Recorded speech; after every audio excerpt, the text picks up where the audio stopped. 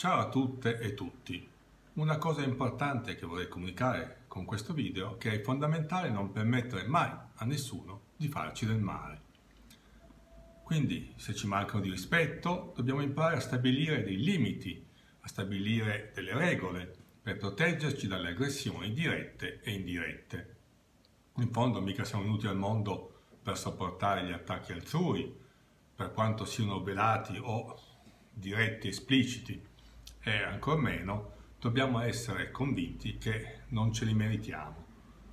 A meno che non facciamo uno sgarbo, non ci meritiamo di, essere, di subire mancanza di rispetto, ovviamente. Per carità, noi non possiamo controllare il comportamento di tutte le persone che conosciamo e con cui veniamo a contatto, ma possiamo imparare a stabilire dei limiti e delle regole per cui questi limiti e queste regole vanno applicate se questi limiti e queste regole vengono infrante, vengono trepassate. Non possiamo pensare che sia normale ricevere e subire una mancanza di rispetto come qualcosa che è implicita, magari è propria dei rapporti di potere. Anche un nostro superiore sul lavoro, anche il nostro partner deve darci rispetto. Rispetto è una cosa importante che noi dobbiamo dare per primi, ma dobbiamo poi ovviamente pretendere dagli altri. Per cui la linea che separa la tolleranza con l'intolleranza, per carità, è molto confusa, come se fosse stata tracciata a matita e l'avessimo così un po' cancellata col dito, sfumandola. D'altra parte, di noi, ognuno di noi ha la capacità e l'obbligo di stabilire le proprie regole e i propri limiti. Quel che è certo è che molte volte non sappiamo se i limiti siano stati superati o meno in un rapporto. Quindi è fondamentale fare chiarezza su noi stessi, capire quali sono secondo noi i nostri limiti, le nostre regole che determinano il rispetto o la mancanza di rispetto. Quindi è fondamentale capire cosa siamo disposti a tollerare e cosa no in una qualunque relazione, che sia di amicizia, di lavoro, col partner, con i familiari, qualunque rapporto, qualunque relazione, dobbiamo avere le idee chiare, capire proprio, fare chiarezza su quali sono i nostri limiti, quali sono le nostre eh, così, eh, credenze, quelli che sono i nostri valori che ci permettono di capire se una persona li oltrepassa oppure no. Quando ci mancano poi di rispetto, il nostro corpo, che è saggio a livello istintivo, ci avvisa sempre. Dobbiamo quindi imparare ad ascoltare noi stessi, perché tendenzialmente non ci ascoltiamo, perché tante volte quando sentiamo questa mancanza di rispetto ci rigidiamo, ci infastidiamo, sentiamo disagio, o ci sentiamo prevaricati o offesi da questa persona. Quello che deve purtroppo eh, far capire agli altri è che tante volte gli altri non si accorgono magari di aver mancato di rispetto perché sono abituati così, perché noi fino a quel momento gli abbiamo permesso di arrivare oppure di oltrepassare il limite. Ecco che noi dobbiamo imporci per fare in modo che le persone la smettano di oltrepassare quel limite. In fondo se continuano a farlo perché noi purtroppo glielo permettiamo. Ecco che eh, ovviamente dobbiamo imparare proprio a stabilire questi limiti, queste regole. Se non li stabiliamo diamo il permesso all'altra persona di ferirci e sono tanti i modi in cui permettiamo agli altri di calpestarci. Mandiamo segnali quasi invitando le altre persone a farlo.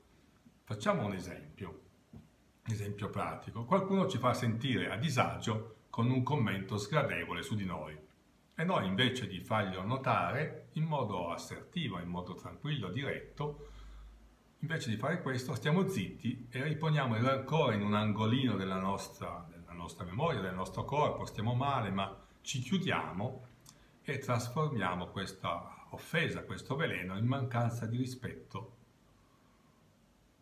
Noi abbiamo subito una mancanza di rispetto, ma non la esterniamo, non glielo facciamo capire.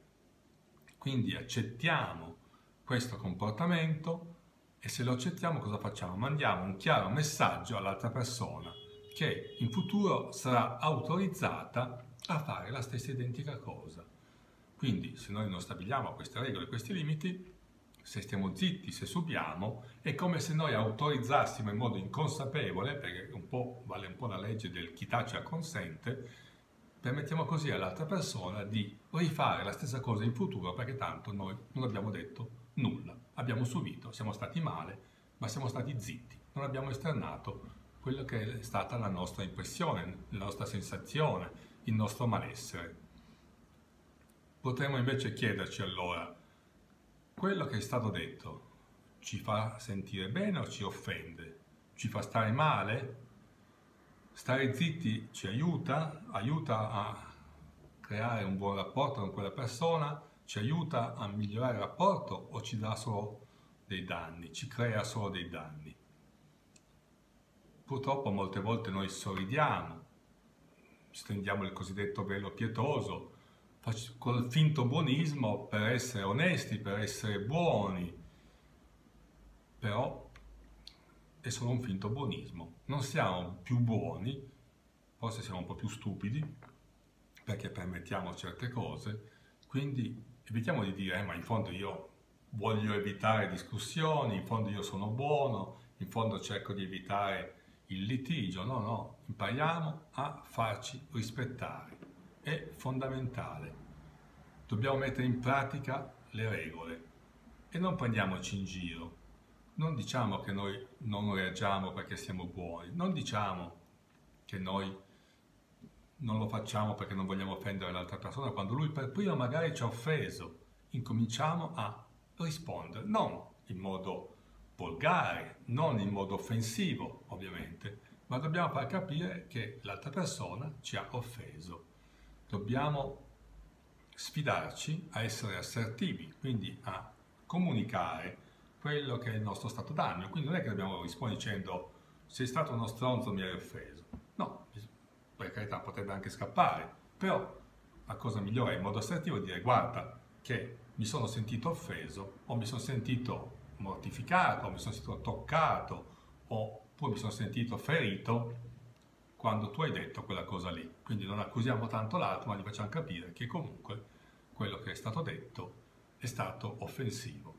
E poi lo ribadiamo dicendo pregherei o mi auguro, oppure mi auguro ancora meglio, che tu in futuro eviterai di fare commenti o dire frasi del genere. Quindi importante al massimo assertività, noi non dobbiamo permettere di essere trattati male e non dobbiamo permettere alle persone di mancarci di rispetto. Ricordiamoci sempre, se lo fanno è perché noi glielo permettiamo. Quindi tutto parte da una nostra rivoluzione interiore. Bene, grazie per avermi seguito anche in questo video, ci vediamo al prossimo. Ciao!